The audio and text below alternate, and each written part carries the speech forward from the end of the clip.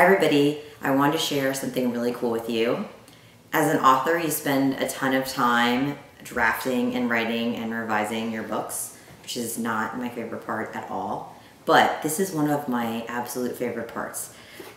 This is a book from Hachette, Little Brown, Books for Young Readers, which is my publisher. And I saw my editor tweet a picture of the finished copy of Unbreakable. So when I get a box that is this size right after that, that means that the finished copy of Unbreakable is going to be in this box. That's what I'm guessing at least. Let's hope for the best. There are a couple times that are really, really cool as an author. One is obviously when you find out someone wants to buy your book. Another is when you get the finished copy of your book. For me, the other one is seeing my book on the bookshelf for the first time and getting my first like tweets or emails from readers, hopefully telling me they love the book and not hating it. That would be really sad for me. But those are like the moments for me that make it all of the toiling and staying up till four in the morning totally worth it. Okay, I'm right, and I'll show you how, I know. At Little Brown, they really like presentation. So, inside the box is confetti, the color of my book. This is a good sign. All right. It's like a party. Oh my gosh, it's so pretty. I can't tell you how much prettier they are than the advanced reading copies. There it is. It looks so perfect. And look, it has like some sort of crazy UV coating and it like shimmers. And this was not on the ARC. Look at the back.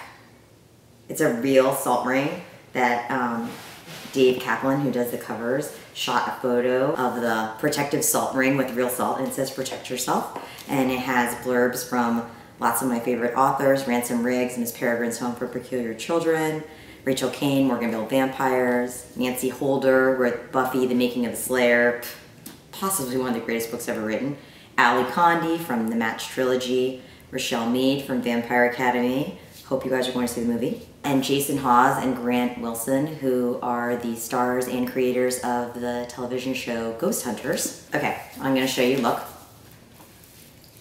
My beautiful new author photo, uh, Fanya from Veals Sea Photo shot this. I only say that it's beautiful because if you notice, they made it sepia, which is awesome. Sepia always makes you look way younger. I'm a huge fan of that. And then here, um, people always let tell me that I never show the side. So this is the side, and if you're at the bookstore and it's not facing forward, this is what will look like from the side. There's also, I collect crosses. There's going to be a um, video of my office, and you'll get to see all the crosses that I collect, the protective crosses. And this is from my amazing editor, Erin Stein at Little Brown, who knows that I collect crosses. And she actually told me in an email she was sending me something that reminded her of Alara, who is one of the characters in Unbreakable and I think this is what she meant.